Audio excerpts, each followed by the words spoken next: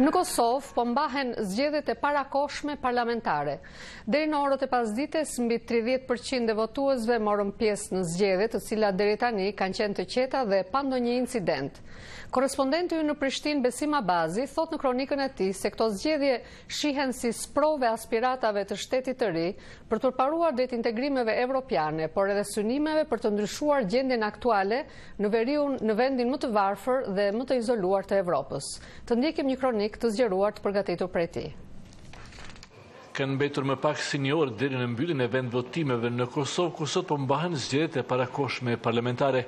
Afro një milion e tetëqind mijë qytetarë me të drejtë vote kishin sot mundësinë të zgjedhin ndërmjet tridhjetë subjekteve politike të regjistruara, që me mbi një mijë e dyqind kandidatë synojnë të sigurojnë përfaqësim në Parlamentin njëqind e njëzet vendesh të Kosovës. Që në orën shtatë të mëngjesit u hapën rreth tetëqind qendra votimi me rreth dy mijë e katërqind vendvotime në tridhjetë e tetë komuna të Kosovës.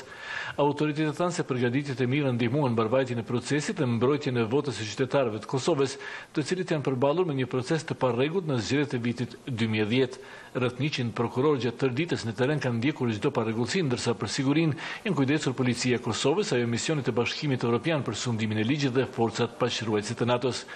Autoritetet vendase e ndërkombëtare gjatë tërë ditës kanë bërë thirrje për një proces të qetë e të lirë duke vlerësuar se zgjedhjet e sotme janë udhërrëfyese për të ardhmen evropiane të Kosovës.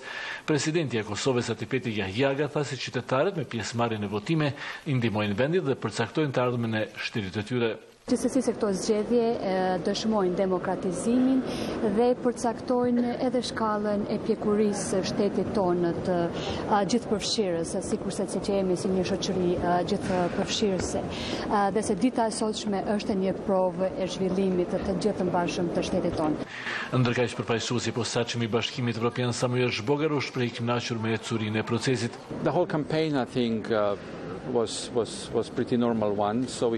Mendoj se edhe fushata ishte normale dhe shpresojmë se gjithçka do të shkojë në të njëjtën rrugë dhe nesër do të kemi rezultatet për të parë përbërjen e qeverisë së re, tha zoti Zhbogar. Komisioni Qendror i Zgjedhjeve ka regjistruar mbi tridhjetë mijë vëzhgues, përfshirë ata vendas e ndërkombëtarë në mesin e cilëve dhe ata të Misionit të Posaçëm të Bashkimit Evropian, si dhe vëzhgues të angazhuar nga ambasadat e vendeve euro-perëndimore. Shefi i vëzhguesve evropianë Roberto Gualtieri tha se të hënën do të publikohen gjetjet e misionit të tij që është i shtrirë në tërë vendin. Shpresoj që prania jonë do të ndihmojë të ketë zgjedhje të ndershme, gjithëpërfshirëse, transparente që është shumë me rëndësi për Kosovën, tha ai. Vëzhguesit vendas thanë se gjatë ditës janë regjistruar parregullsi që tashmë janë të zakonshme në zgjedhjet në Evropën Juglindore, siç janë votimet familjare, por të cilat nuk e dëmtojnë procesin.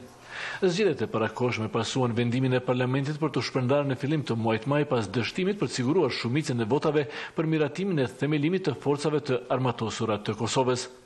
Zgjedhjet e sotme shihen si një sprovë për synimet e shtetit të ri për të përparuar drejt integrimeve evropiane, por edhe zotimeve të partive politike për të ndryshuar gjendjen aktuale në vendin më të varfër dhe më të izoluar të Evropës.